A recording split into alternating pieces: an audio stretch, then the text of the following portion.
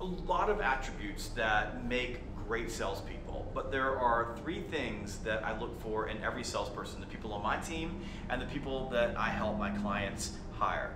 And, and it's all wrapped up into something called sales drive. I, I want people who are competitive, I want people who are optimistic, and I want people who have a high need for achievement. I want people who, when something bad goes wrong, they optimistically look at the, at the around the next corner or in the next door or on the next call, and, and they believe that a good thing's going to happen to them. Uh, they, they forget about the bad things fast.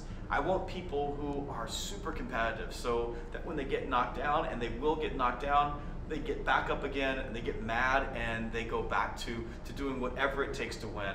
And I want people who have a high need for achievement. I want people who wake up every day and they feel like they have to do whatever it takes to hit their goal. We call this sales drive. And when you have those three attributes, it's very hard for you not to be successful in sales.